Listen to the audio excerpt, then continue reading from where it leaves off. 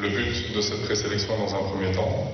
Donc euh, c'est une présélection qui est un peu spéciale dans le sens où on a deux clubs, Aspécie et l'Export, de nos représentants qui sont engagés en, Champions League africaine. Et donc il y a un, grand nombre de joueurs qui font partie de la sélection ou de la sélection élargie qui sont euh, engagés dans cette compétition. Euh, et donc on aurait dû commencer les entraînements peut-être plus tard, c'est-à-dire à leur retour, aux alentours du 26 ou du 27. J'ai estimé que c'était un peu tard pour préparer les matchs.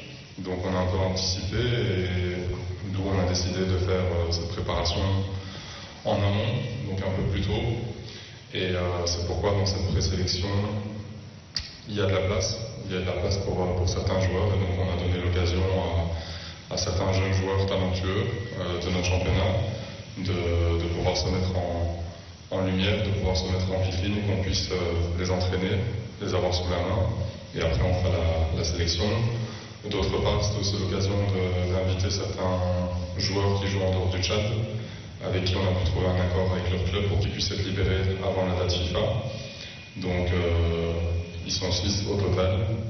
Et euh, on va pouvoir euh, les avoir sous la main et, ne pas devoir sélectionner un joueur sur base de vidéo.